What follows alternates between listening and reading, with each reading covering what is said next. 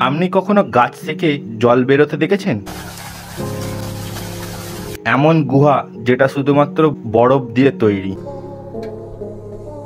এই ছোট পাখির বিশাল বাসা কি করে? এরকম ইন্টারেস্টিং জিনিস দেখতে এই ভিডিওটি শেষ পর্যন্ত দেখুন। আমরা সবাই জানি গাছ যেমন জল শোষণ করে তেমনই অক্সিজেনও দেয়। এছাড়াও গাছের অনেক উপকার আছে। কিন্তু আপনি ভেবেছেন গাছ যেমন জল শোষণ করে, ঠিক এর উল্টোটা গাছ থেকে জল বেরোয় কি করে? হ্যাঁ আপনি ঠিকই শুনেছেন। এটা দেখুন মন্টেনোগে ডিনোসা শহরে এই গাছটি অবস্থিত, যাকে গেসিং ওয়াটার টি বলে জানে। এই গাছটি প্রায় এক দেড়শো বছর পুরানো।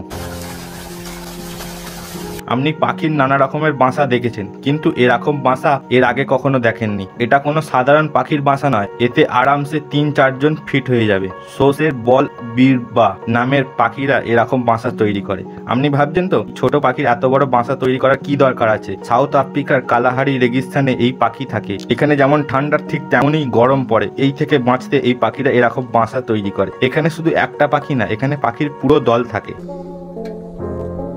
এই আইসল্যান্ডের এই সুন্দর গুহাগুলি দেখুন। আইসল্যান্ডের এই গুহার ভেতরে গেলে মনে হবে যেন আপনি কাঁচের মহলে চলে এসেছেন। এই পরিষ্কার কাঁচের মতো বরফ এক দু বছরে তৈরি হয় না। এই বরফ বছরের পর বছর এক জায়গায় জমে থাকে। এই একই জায়গায় জমে থাকার ফলে এই বরফ থেকে বাবেল বেরিয়ে যায়। এর ফলে কাঁচের মতো বরফ তৈরি হয়ে যায়। আর একটা কারণ, এখানকার পরিষ্কার জল।